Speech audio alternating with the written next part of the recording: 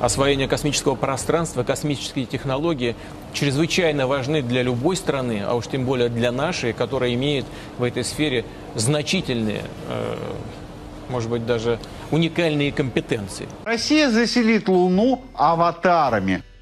Вот это поворот! Его нарядили в самый обычный военный камуфляж, и только вблизи голова да блестящие конечности выдают робота. А точнее, человекообразного робота-аватара. Его оператор сидит в соседней комнате, он просто делает движение в воздухе, а робот стреляет из пистолета, поразил пять мишеней, и ездит по полигону на квадроцикле.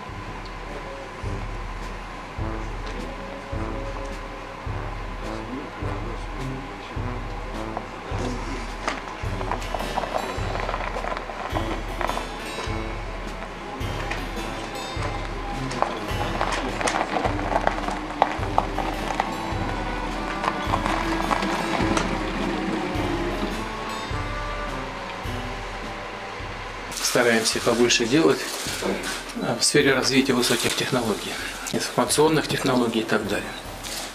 У нас стратегия принята а, развития а, цифрового общества, план развития цифровой экономики. Наша страна не отказалась от идеи строительства на спутнике постоянной базы. И в этом направлении ведутся работы, заявил глава госкорпорации Дмитрий Рогозин. Речь идет именно о создании долгосрочной базы. Естественно, не обитаемой, а посещаемой. Но в основном это переход на роботизированные системы, на аватары, которые будут решать задачи на поверхности Луны. Робот будет сконструирован так, чтобы в точности повторять все движения оператора, даже находящегося в 400 тысячах километров от него. What the fuck is this? Установка оборудования, сбор образцов реголита, лабораторные исследования, ремонтные работы. В идеале все это люди смогут делать, не покидая не то, что планеты, а даже собственного рабочего места. Мы восстановим свое реноме в качестве главного ямщика космического.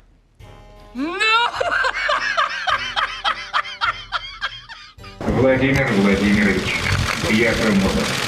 Автономный сервисный робот для бизнеса. На самом деле наш робот... Мне очень приятно с вами познакомиться. Президента провели мимо ракеты, космических кораблей, и когда стало понятно, что к разговору о далеких планетах он готов, спросили, далеко ли нам до Луны. Владимир Владимирович, ну, судя по вашим словам, мы полетим на Луну, верно?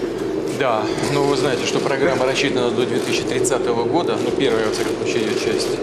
Так что вот э, уже заканчивается работа над э, созданием корабля «Федерация» и началась работа по сверхтяжелой ракете, которая должна быть использована для э, работы по Луне. Так что здесь сомнений нет. Мы будем активно работать и будем эту программу осуществлять. Это вопрос имиджа космической сверхдержавы. К Марсу, кстати, тоже полетим. Есть соответствующая программа. Мы же не можем, как Илон Маск, возвращать нашу ракету. Почему? Потому что они стартуют с Канаверал, и подгоняет морскую платформу в ту точку, где должна свечкой сесть э, первая ступень. Мы-то где будем сажать ее? В Якутии, что ли?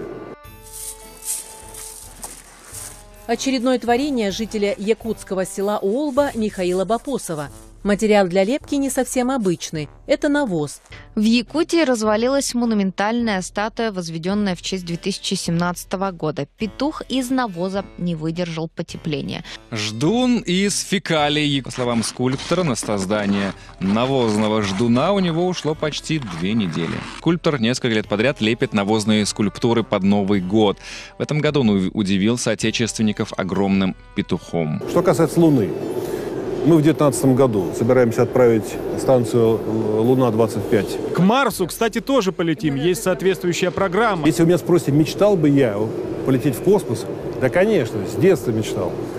Но полечу ли я когда-нибудь в космос? Конечно, нет. Э, у нас есть э, хорошие программы, связанные с э, освоением дальнего космоса. Вот к 2022 году мы должны испытать, провести первое испытание сверхтяжелой ракеты, а к 2024 и, да, и, и 22 году это должна быть уже, должны быть пуски в беспилотном режиме, а к 2024 уже пилотируемые аппараты должны, должны использоваться.